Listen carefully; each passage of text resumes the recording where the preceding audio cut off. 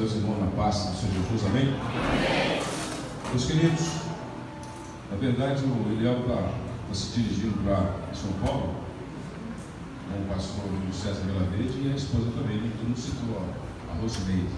Ela está lá junto com ele e eu vou pegar desde sintonar aqui com muita alegria. O nosso título de hoje da pregação é Por que deixamos de frutificar? Repete assim comigo, por que deixamos, de frutificar? frutificar? Se somos árvores. Para que a gente possa entender um pouquinho, vamos abrir nossa Bíblia, por favor, em Salmos 92, versículos 14, 15 e 16.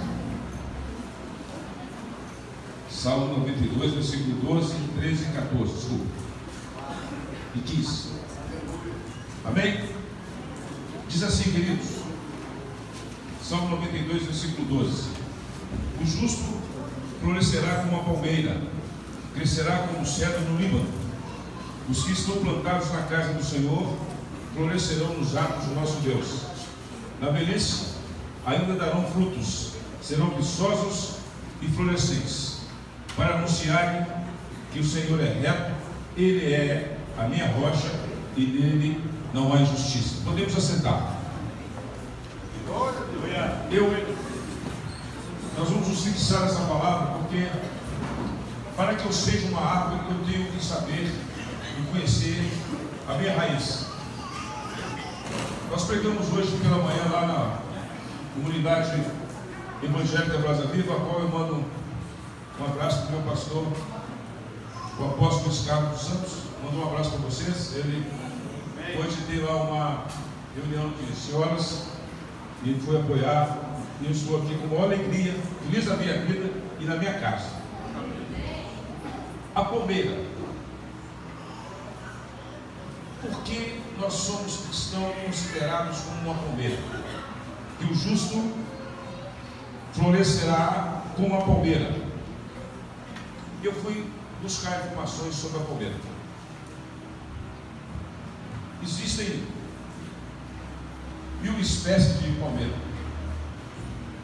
Mas a nossa citada na Bíblia é a tâmara.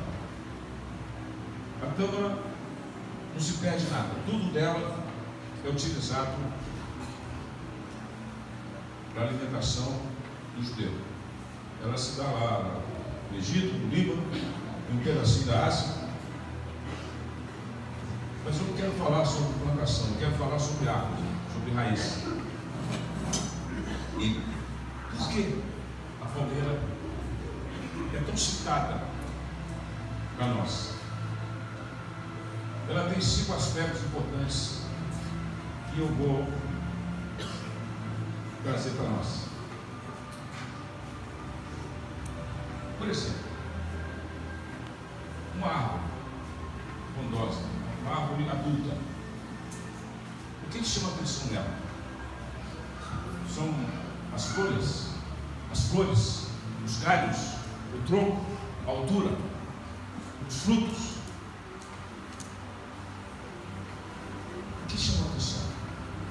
É como se nós tivéssemos uma pergunta para mim para você essa noite. Você como raiz do Senhor, você desperta a pressão do quê?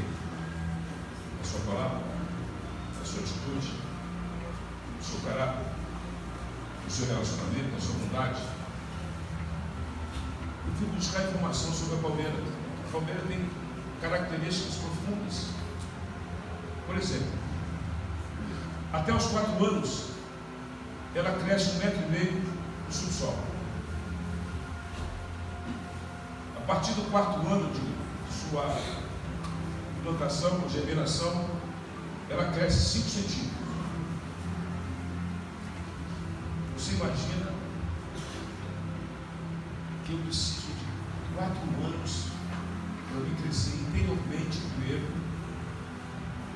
E a minha aparência é a menor possível, com quatro anos.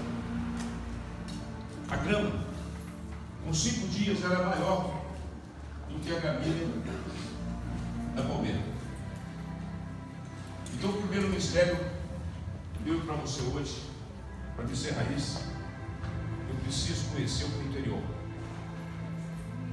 Quanto mais profundo for a minha raiz, quanto mais oculto for o meu caráter, mais eu estou perto de Deus. Na verdade, é o contrário do que eu e você ou nós fazemos. Porque a gente se destaca no nosso maldito Facebook com as fotos, com as curtidas, com os locais onde a gente vai, uma roupa bem vestida, as unhas, os seios à mostra, as coxas, talvez uma gravação, uma voz bonita, tudo aquilo que é belo, nós sentimos atraídos.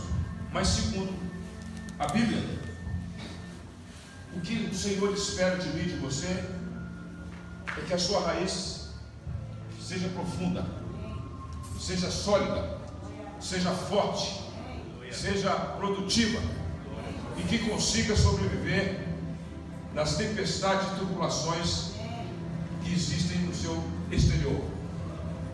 Se nós alavancarmos mais um pouco, a gente vai verificar que na estação mais linda, que é a primavera, a floresce. Ela dá as folhas, renasce as folhas, renasce a flor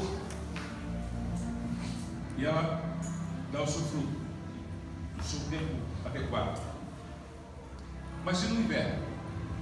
Quando caem as folhas, quando os galhos ficam quase mortos, no caso da palmeira, se ela não tivesse essa condição, dessa raiz profunda, ela não conseguiria sobreviver inverno.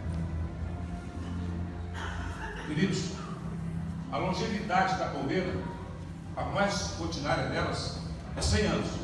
A tâmara, a tamareira, ela sobrevive 200 anos. O homem que plantou ela morre e ela continua lá firme. Ela dá no deserto. Ela sobrevive nas tempestades, na falta de água. E aqui vem a minha primeira pergunta para mim e para você. Você como cristão,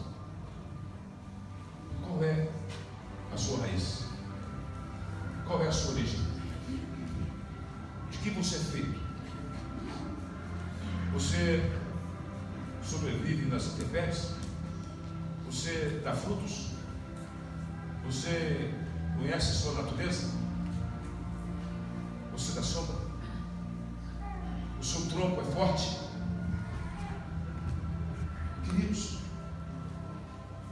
Por que, que nós não valorizamos a palmeira que somos?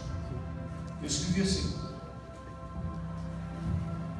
Jesus disse que os fariseus valorizavam mais as orações, jejuns e esmolas realizadas em público. Está aqui em Mateus 6, versículo 3 a 6. Eu nem vou ler, porque eu não quero constranger meus irmãos, mas ele diz respeito àqueles que chegavam no templo e ficavam gritando em orações que faziam isso, faziam aquilo, que tinham jejuns.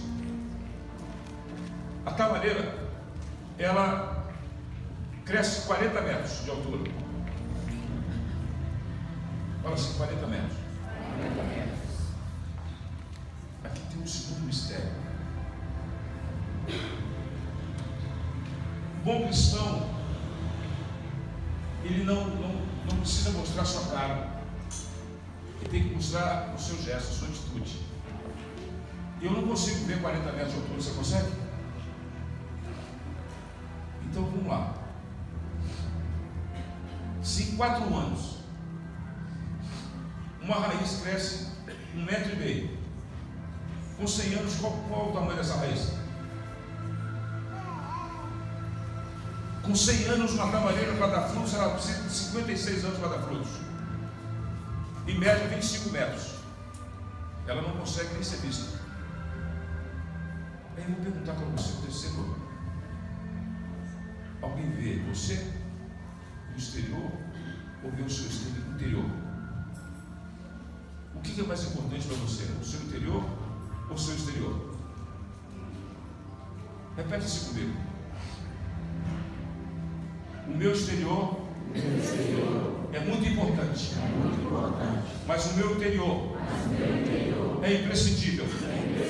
Porque é nele, que o Senhor habita.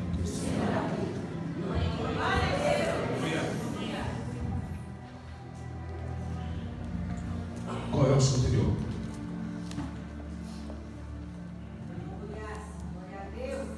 Tem muita água? Tem muito nutriente? A ventania está bem sólida? Está seguro? Perdão. Suas folhas estão vistosas.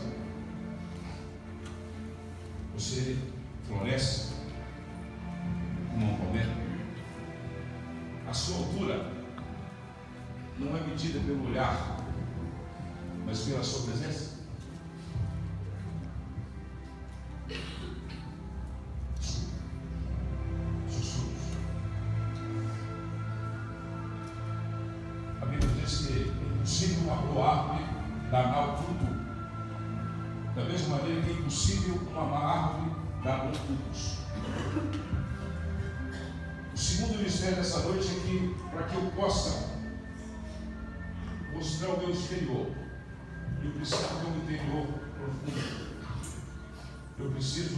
Conhecer a palavra do Senhor.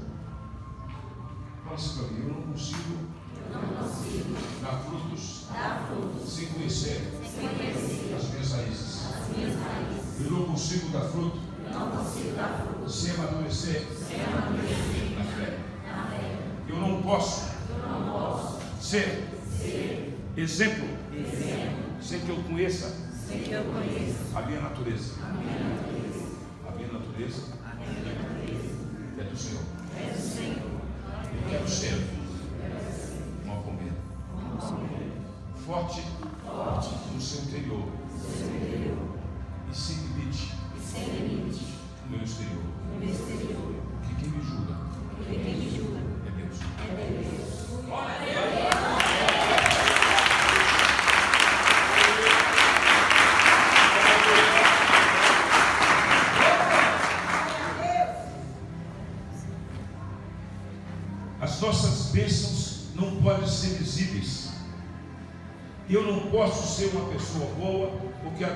Agradável, porque o meu perninho é bonitinho.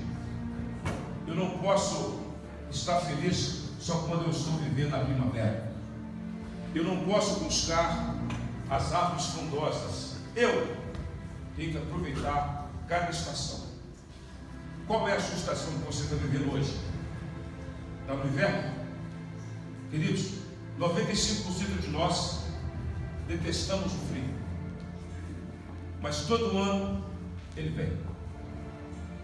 Um pouco mais rigoroso, um pouco menos rigoroso, mas todo ano ele vem. E todo ano nós pegamos gripe, nós nos protegemos, nós deixamos que o tempo faça nos transformar, vivemos uma angústia com tosse, rouquidão, bronquite, asma, Todo ano. A gente se cura e não acaba com o problema. Espiritualmente, a nossa vida da mesma maneira. Nós vamos da igreja, nos habituamos ao bom pastor, a uma boa fala, a um bom louvor, mas o Senhor não está conosco. Porque a gente não leva o que a gente aprende aqui para nossas vidas. Nós não praticamos isso conosco. E essa passagem de Mateus 6, ele diz que nós devemos aprendermos com cada fase. Quer ver? Vamos dar uma olhada aqui. Vamos ver o que, que fala Mateus 6, versículo 3 a 6 e o 16 a 18. Mateus 6. É muito importante eu conhecer a minha raiz para que eu possa dar bons frutos.